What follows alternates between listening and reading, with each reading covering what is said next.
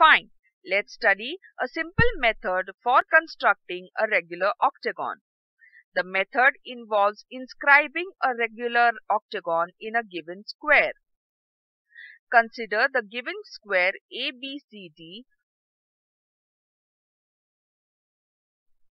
Now we'll draw the diagonals AC and BD intersecting each other at O. Then with A as center and AO as radius, draw an arc cutting edges AB and AD at point 2 and 7 respectively. Similarly, with centers as B, C and D and radius as AO, draw arcs to obtain remaining points.